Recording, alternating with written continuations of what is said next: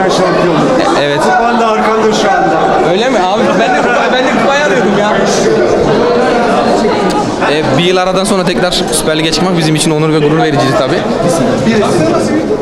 E, inşallah Gençler Birliği e, bir daha her zaman Süper Lig'de mücadele etmeye devam eder.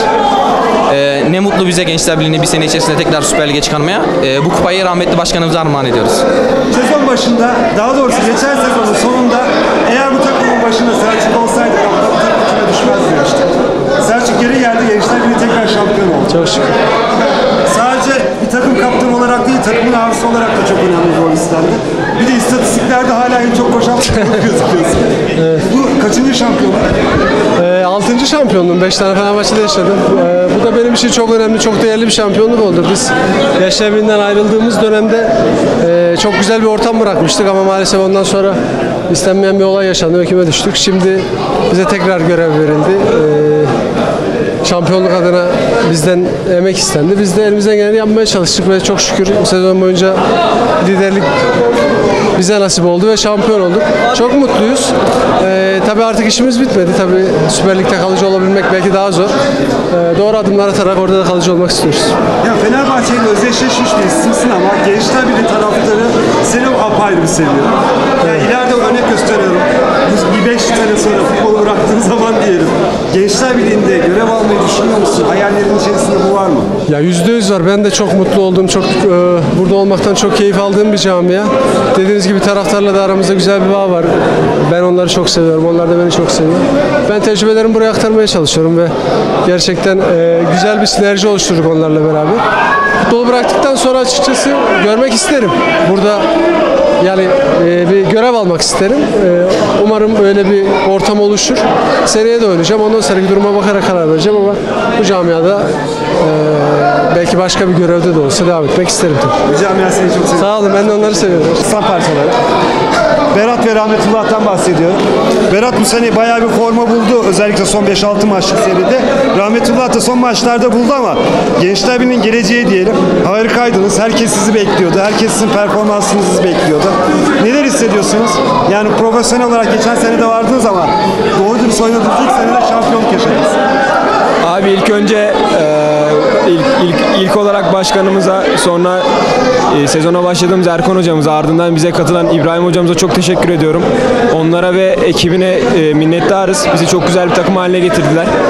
E, sezonun başında Süper Lig'e çıkma hedefiyle e, sezona girmiştik ve bu hedefimizi başardık. E, bugün tabii galip gelmek isterdik ama mal, mağlubiyetle kapattık. Hiç sorun değil. Önemli olan lige çıkmaktı. Biz bunu başardık. Süre bulmamıza gelecek olursak e, biz Gençler Birliği'nin çocuklarıyız abi. Bize şans verdikleri sürece biz kimsenin e, yüzünü kara çıkartmayız. Biz bu şansı altyapısına girdiğim bu, bu kulübün altyapısına girdiğimiz günden beri bekliyoruz ve iyi değerlendirdiğimizi düşünüyorum. E, genç yaşımızda e, armasına aşık olduğumuz takımla şampiyonluk yaşamak da çok başka bir duygu. E, son olarak da taraftarlarımıza çok teşekkür ediyorum. Bize çok güzel bir ambiyans yaşattılar. Şampiyon Gençler Birliği. Ya özellikle taraftarlara sizin ayrı bir şeyiniz var.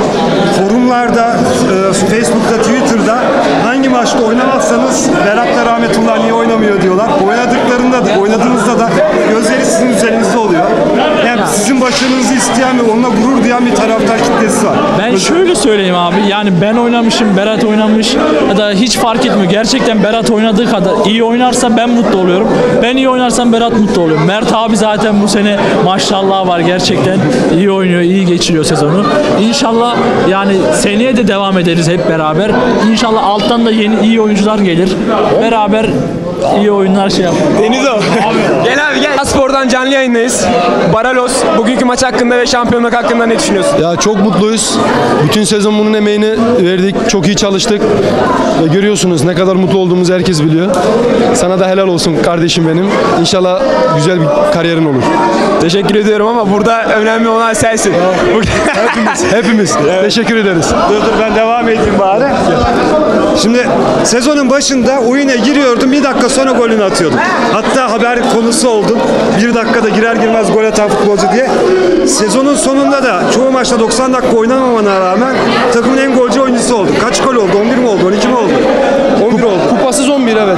Evet. Çok şükür yani bunda herkesin payı var. Herkesin emeği var. Tek ben değilim. Ee, ve Çok şükür Allah'ıma şükürler olsun. Belki takımın gol kralı olduk ama dediğim gibi takım arkadaşlarıma teşekkür etmek isterim. Hocalarımızı tek teşekkür etmek istiyorum. Seyircilerimize. Onların destek desteklerinden e, sayesinde oldu bunlar. Çok şükür. Gençler Birliği nasıl gördün? Nasıl sevdin? Bu sezon ilk senemiz Gençler. Çok iyi, çok çok mutluyum burada olduğuma. Ee, çok güzel bir ortam yakaladık. Ee, arkadaşlarımız olsun, e, seyirci olsun, bütün şehir. Yani dediğim gibi çok mutluyuz. Çok teşekkür Ben teşekkür ederim. Sağ olun.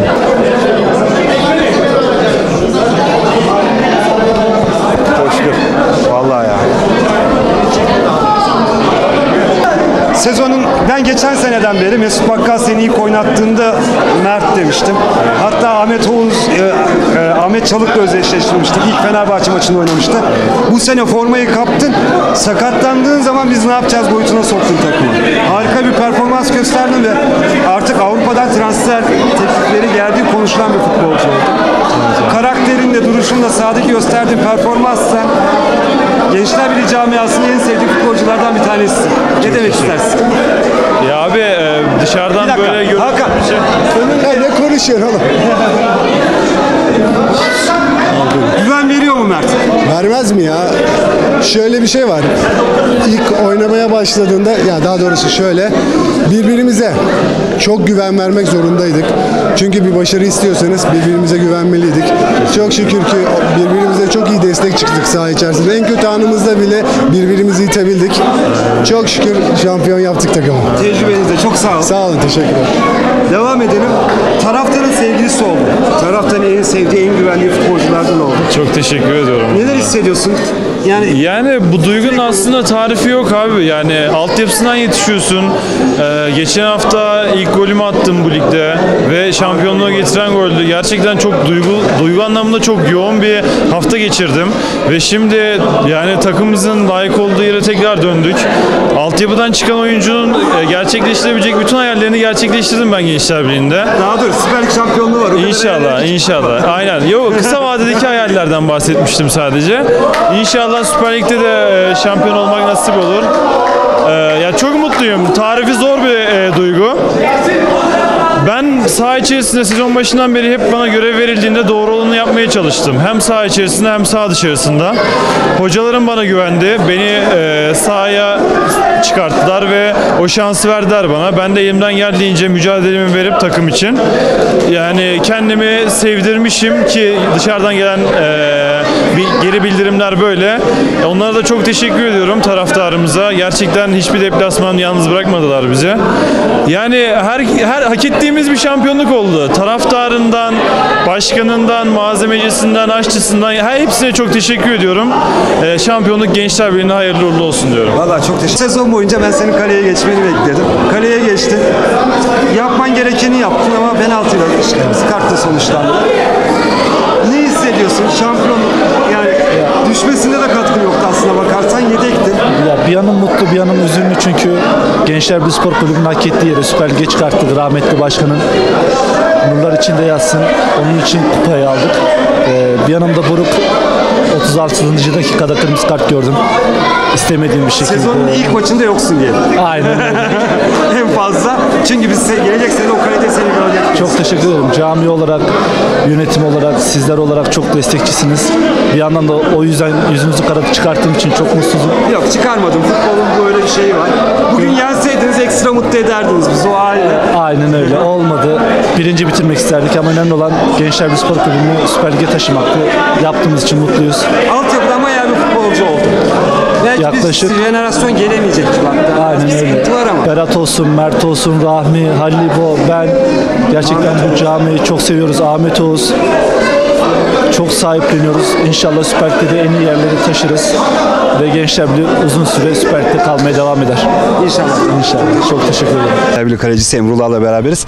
Bugün sahada görürüz diye bekliyorduk. Tribünde göreceğiz galiba. Öyle oldu abi biraz ya. Şimdi eee, biliyorsunuz geçen hafta iş bitti. Hoca oynamayan arkadaşlar da görmek istedi tabii biraz. Eee, bugün de biz destek olacağız dışarıdan. Bakalım nasılmış göreceğiz yani devamlı. Biz onlar destek oluyorlardı bize.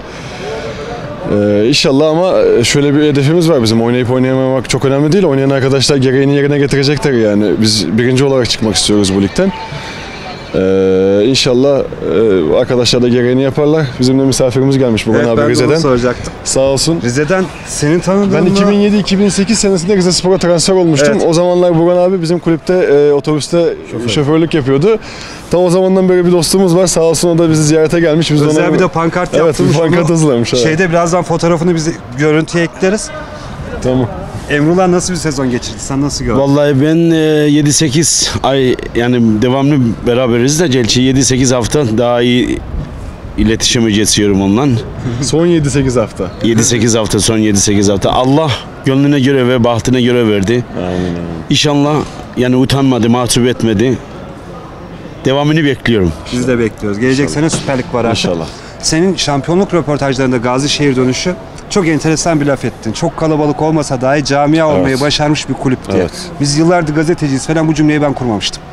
Bunu biliyordum ama bu cümle haline getirmemiştim açıkçası. Geçen radyo programında da bahsettim senin bu cümlenden. Gençler Birliği camiasını sen nasıl görüyorsun? Bunu biraz açar mısın? Ya şimdi e, burası öyle bir yer ki o gün bahsettiğim gibi ben bu lafı daha önce Denizli Spor maçına çıkmadan önce soyunma odasında takım arkadaşlarıma söylemiştim. Hatta bu dava bir şampiyonluk davası değil, benim gözümde bir kulübün geleceğini kurtarma davası diye bir konuşma yapmıştım o gün Denizli Spor maçı soyunma odasında. Ee, hakikaten de öyle. Çünkü o Gençler Birliği İlhan Cavcav kapısından içeri girdiğiniz zaman hani rahmetli başkanımız orada olmasa bile sanki hala ruhu oradaymış gibi bir havası var yani. Ee, camia olmayı başarabilmiş dediğim ben dışarıdan gelmiş bir futbolcuyum sonuçta. 8-10 tane dışarıda kulüp gördüm. Ee, bir kulübün havaalanına girişte nasıl karşılandığı, otele girişte nasıl karşılandığı, bir şehre geldiği zaman nasıl karşılandığı, bir stada gittiği zaman hakemden nasıl saygı gördüğü, bunlar bir kulübün camia alıp olmadığını belirler. Gençler Birliği Kulübü'ne geldiğimde de ben bunların fazlasıyla seyirci potansiyeli olmamasına rağmen olduğunu gördüm bu kulüpte. Öyle bir cümleye vurumu oldu yani o yaşadıklarımın, bütün sene boyunca gördüklerimin, hissettiklerimin. İnşallah bu camia e, hak ettiği yerlerde kalır uzun süre boyunca. İnşallah. Uzun yıllar boyunca. Acı korktuğun yerler oldu mu? Yani Oldu. şimdi 4 maçlık bir seri mağlubiyet falan Evet. vardı. Ne oluyoruz falan. Orada neler yaşandı? O atmosfer nasıl? Ee, korktuğum yerler oldu. Dört maçlık. Şimdi şöyle bir şey var. Buradan kimi çevirsek şimdi bir kadro yap desek bu takım 4'te 0 yapmaz derler yani. Evet. Ki orada bir puan almış olsaydık Karabük'ten o 4 maçı 0 yaptığımız dönemde bir puan almış olsaydık Karabük'ten döndüğümüzde şampiyon oluyorduk Evet. yani bir puan Evet. artıyla. Üstüne bir de burada Denizli'den Beklenmedik. farklı bir skor olunca ya şimdi dedik ki ne oluyor acaba? Olamayacağız mı? Geçti ama tabii iki tane avantaj kredi olması çok büyük avantajdı bizim için. Ee, biz şeye gittik geçen hafta Antep maçından önce aramızda şöyle konuşuyorduk. Biz şampiyon olmaya bir puana gitmiyoruz. Biz bir maç oynamaya gidiyoruz. Evet. Buradaki İstanbul Spor maçı gibi, işte buradaki ne bileyim e, Balıkesir Spor maçı gibi, buradaki Altay maçı gibi ya da deplasmandaki Adana maçı gibi biz sadece bir maç oynayacağız. Yenebilirsek yeneceğiz, yenemezsek bir puan alacağız, döneceğiz. Artık dedik ki yani şu fabrika ayarlarına bir dönelim. Bu iş olmayacak, gidiyor galiba yavaş yavaş diye. Ama çok şükür sonu güzel oldu yani. Ben de aynı şeyleri düşünüyordum. Yani 3 maçın var. Bir puana ihtiyacın var. Ligin zirvesindesin. En İşte bizi o biraz rahatlattı zaten var. abi. Ya biz niye böyle bir panikliyoruz? Evet, niye böyle evet. bir durum var? Herkesin bizden korkması lazım şu Aynen anda öyle. aslında falan Aynen diye. öyle. Ama güzel bir sezon geçti. İnşallah gelecek sene kurtarışlarını yine seni İnşallah. görmek Çok isteriz. teşekkür ederim. Ben çok teşekkür Sağ ederim. olasın. Hadi görüşmek üzere.